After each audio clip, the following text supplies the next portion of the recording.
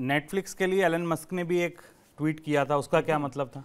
Netflix को लेकर शुभम, बहुत दिलचस्प घटनाक्रम हमारे सामने आ रहा है। पहली चीज़ तो ये कि जो प्रवीण शर्मा की शानदार रिपोर्ट आपने देखी, उसमें उन्होंने संकेत दिया कि नेटफ्लिक्स को ये नहीं पता था, यहाँ तक कि न्यूयॉर्क स्टॉक एक्सचेंज के एक्सपर्ट्स को ये नहीं पता था। उनको लग रहा था कि नेटफ्लिक्स जब अपना अगला नतीजा डिक्लेयर करेगी तो कम से कम टू मिलियन नए सब्सक्राइबर जोड़ने का ऐलान करेगी, जो वादा नेटफ्लिक्स ने किया था। और ऐसा कैसे हुआ कि जब नेटफ्लिक्स के रिज़ल्ट आए और जो उसके फाइनल नंबर आए, वो तो बिल्कुल उसके उल्टे थे। और यही वजह थी कि इतना शॉक लगा नेटफ्लिक्स के स्टॉक को उसकी मार्केट वैल्यूएशन टूट के यहाँ तक आ गई। आमतौर पर डिजिटल कंटेंट देने वाली कंपनियों के बारे में इतने आकलन उल्टे कभी नहीं बैठते हैं क्योंकि वो लगातार अपने कस्टमर्स की अपने सब्सक्राइबर्स की के डेटा पर नज़र रखते हैं। तो ये पहली चीज़ है। इसका मतलब ये कि या तो नेटफ्लिक्स ओवर एस्टिमेट कर रही थी या वास्तविकता छिपा रही थी जिसके कारण अमेरिका के शेयर बाज़ार में नेटफ्लिक्स के भविष्य को लेकर बहुत ज़्यादा आशंकाएँ और चिंताएँ हैं। पहली चीज़। दूसरी बात यह कि नेटफ्लिक्स ने जिन कारणों को गिनाया है उसमें एक महत्वपूर्ण कारण पासवर्ड शेयरिंग है कि एक के पास अगर सब्सक्रिप्शन है तो उसने अपने साथ के दो लोगों को फ्री पासवर्ड दे दिया दे दिया है।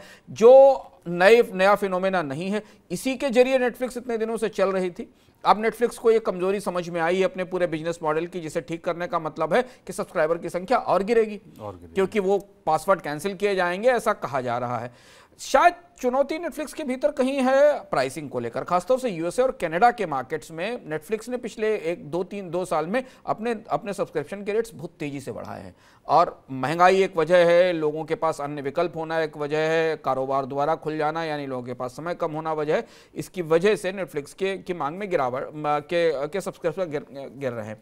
एलन मस्क ने चुटकी ली है। वो चुटकी राजनीतिक रूप से कंटेंट की राजनीति से ले, को लेकर काफ़ी चर्चा में है। ट्विटर पर उस पर कई सारे सवाल जवाब और इंटरप्रिटेशन आ रहे हैं। उन्होंने कहा है कि जो वो कंटेंट है वो कंटेंट वायरस है वो नेटफ्लिक्स को हिट कर रहा है। उनका इशारा इस तरफ़ था कि इतने सारे प्रतिबंध कंटेंट पर पूरी दुनिया में लगा दिए गए हैं कॉमेडी को लेकर खरी बातें कहने को लेकर कि लोगों को नेटफ्लिक्स का कॉन्टेंट उबाऊ या बोरियत भरा भर। लगने लगा है।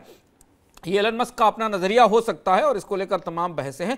पर बुनियादी चीज़ ये समझ में आती है कि ओटीटी अभी अपने अप, अपनी शुरुआत में है और दुनिया में बहुत सारे कंटेंट की प्लानिंग ओटीटी के आसपास हो रही है।